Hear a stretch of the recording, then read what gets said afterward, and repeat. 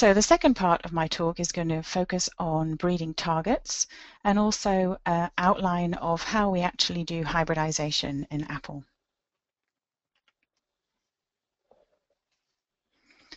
What I've done for the breeding targets is to split them into three different areas. And the first one, which in my opinion is the most important, is fruit quality. So appearance and eating quality, uh, I think, have to be the most important fruit quality breeding traits. As far as appearance is concerned, consumers go out there and they're faced with a range of apple types on display whenever they go into a store. And they, they have to be drawn to a particular apple, uh, and that's really by its appearance. So they're shopping by eye. And over and above that, predominantly in this country, in the US, um, consumers can go in there and actually select individual fruit and then put them into a bag and pay and leave the shop. But what that means is that there, there can be a lot of picking over of the fruit display. And it's important for retailers that there isn't a lot of waste after that happens. So some varieties will and do show marks and bruises uh, more than others. Some are just a little more robust. So all of those kind of things, in my opinion, form that appearance category. So if appearance is what draws the consumer in and makes them choose that variety in the first place to buy, it's really eating quality that determines the repeat purchase. And eating quality in Apple is a interesting mix of textural qualities. So that includes crispness, hardness, um, and juiciness as well as all of the, the flavoral components. So we look for a, a balance between acidity and sweetness. Um, obviously, some consumers prefer sweeter apples and some prefer more acidic apples. And then, of course, there's aroma on top of that. I've also included storability as a breeding target for fruit quality when you uh, produce the sort of volume of apples that are produced on an annual basis uh, in somewhere like Washington State, you have to be able to store that fruit for sometimes up to 12 months of the year to ensure a, a good market uh, throughout the year.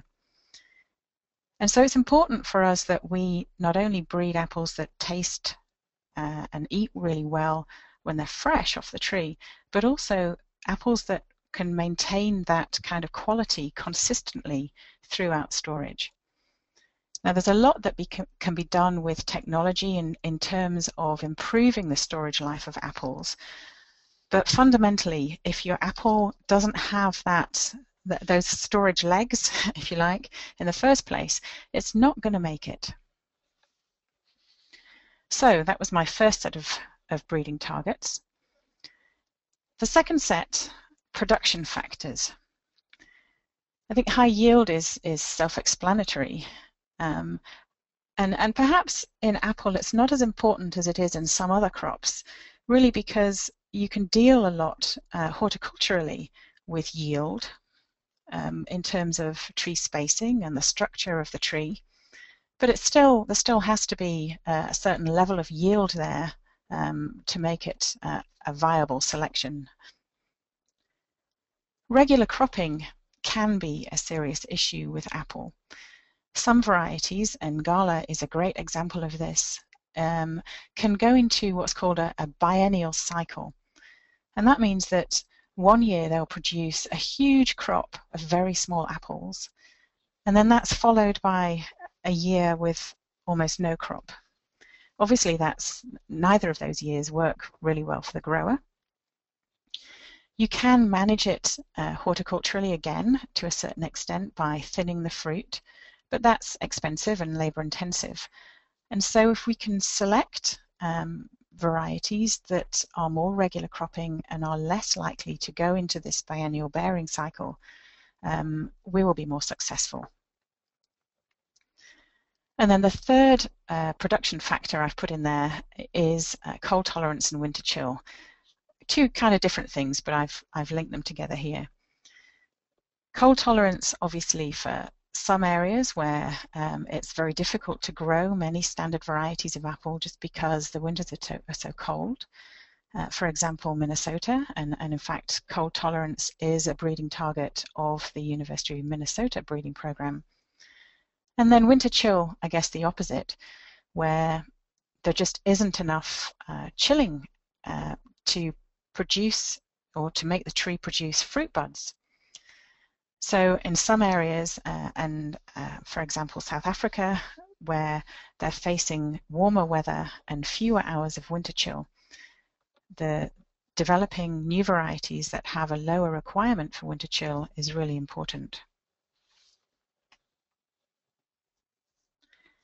So my third and final set of breeding targets I've grouped together as resistances um, slightly tongue-in-cheek, but they're kind of resistances. Um, the first two, apple scab and powdery mildew, are both fungal diseases. Certainly apple scab, uh, breeding for resistance to apple scab is one of the primary targets of almost every apple breeding program around the world, um, probably except mine. Um, and that is one, one of the reasons uh, is that in Washington, where we have such low humidity, we don't have um, much of a problem really with apple scab. However, in most other areas, it really is a serious issue. Powdery mildew is certainly um, around pretty much everywhere where you grow apples, uh, including Washington, but perhaps not at, not at the sort of levels that it would be in many of the, for example, European production areas. Fire blight is a uh, bacterial disease and can be devastating in the orchard. It, uh, a serious infection can leave you with trees that just look as if they've been burnt, hence the name. Uh, and certainly we have it here, and it, and it is in most areas, most production areas of the world. Um, when I grouped together my resistances, I also put sunburn in here. Now, it's obviously not a disease, but it is important in some areas to have some resistance to sunburn. Um, and, you know, I put this in really because here I am in Washington where sunburn can be a, a serious issue to apple production. One of the things that we find with sunburn is that um, unfortunately the, the apples don't get a chance to acclimatize to the level of light as they as they're growing.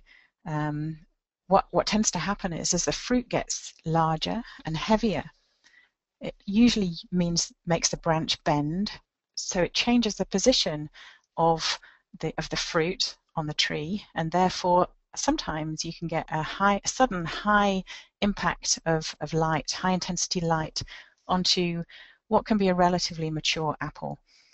And so you'll find uh, sometimes the, the symptoms that you can see in the photograph. Um, and so for for a breeding target for my program, uh, trying to find um, and select individuals that are resistant to sunburn is, is really quite important. So I'm going to move on to hybridization and how we actually cross, uh, how we make crosses in apple now. Um, I think hopefully you can see from the, the diagram there that apple has a, a relatively simple flower structure. It has a flower number of five, so everything is in multiples of five, which I think most people realize when they cut open the apple and get that, that five-pointed star in the middle. Um, if you look at the photograph on the top right-hand side, uh, this stage that's circled here in, in red is the, the stage of bud that we use for um, pretty much all of the crossing. We call that the popcorn stage. And really, it, it means that the, the, the bud is sort of fully swollen and just at the point before the petals start to open. So hopefully there's been uh, no insect already visiting that flower and bringing in stray pollen.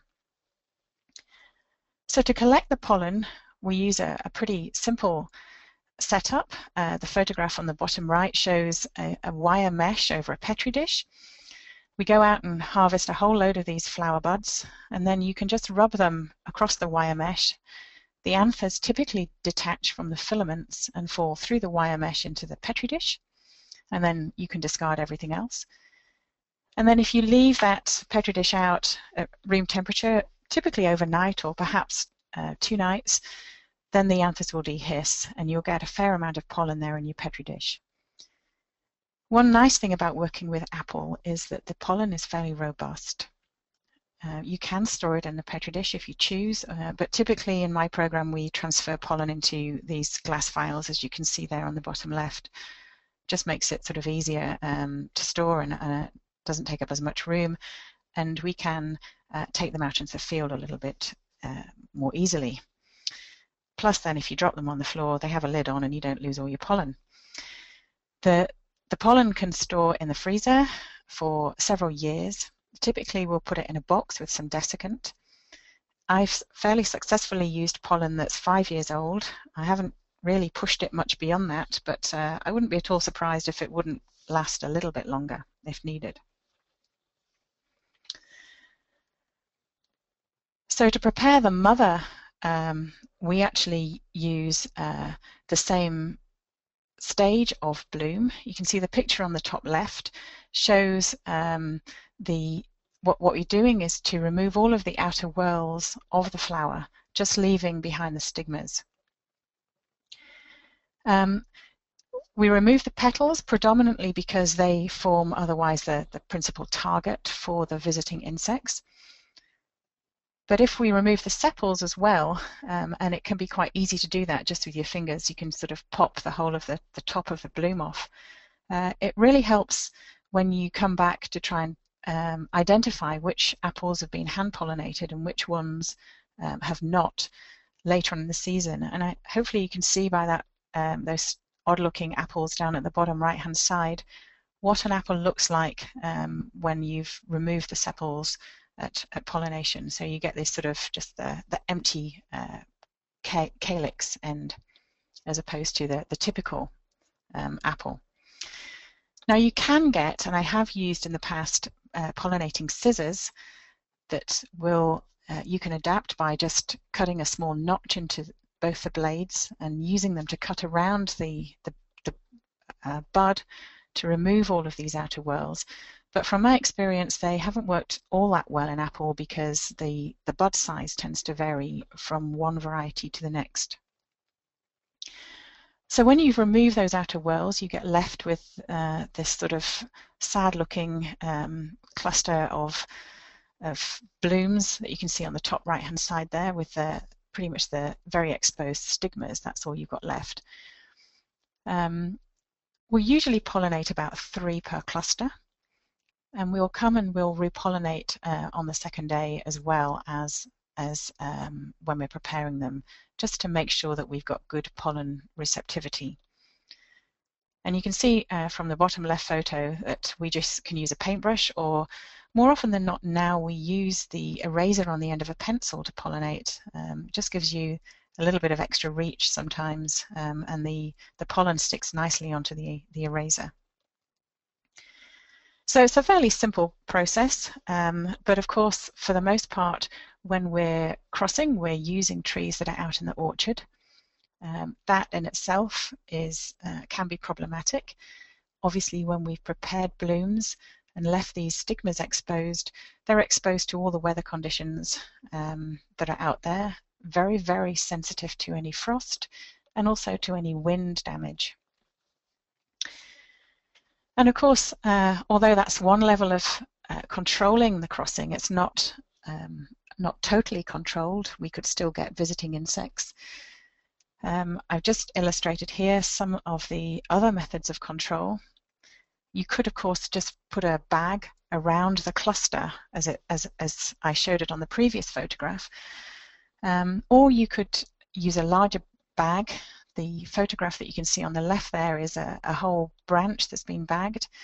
Um, anybody who is particularly sharp-eyed might notice that that's a cherry rather than an apple tree in there. Um, I just couldn't find that apple photo. Um, but it's exactly the same for cherry. So uh, you can get these pollinating bags that are slightly porous and allow gas exchange and will protect the, the pollinated blooms uh, for as long as you need them on the tree. You can, of course, go uh, one stage beyond that and protect the whole tree. Um, and here, the, the picture in the middle there, you can see is a, a single tree that's that's netted. Um, or even beyond that, um, and and net a whole row of trees, in which case you need a, a more substantial structure, uh, the one that you can see on the bottom right there. Um, and, and this is the sort of thing that if you're using trees that are on a trellis, uh, so in other words, they're supported by posts with wires in between them, uh, you often have to resort to that full uh, netting of a row if you want to, to um, totally control the hybridization. So then once you've you've got to that point, you just really have to sit back and wait for the wait for the fruit to grow. And then it's as simple as cutting the fruit in half, as you can see in the, the top right, taking out the seeds, washing the seeds, and then stratifying them on damp filter paper in a petri dish for about 12 weeks before they'll start to germinate. And apple seeds are pretty robust as well. You can store them uh, relatively indefinitely. Um, uh, and then, uh, it, so if you need to to bulk up, if you if you can't make a, a large number of seeds in one year on a particular cross and you want to add more until you have sufficient seed. So uh, that moves me into the third part of my talk, uh, which is more specifically about uh, my breeding program at Washington State University.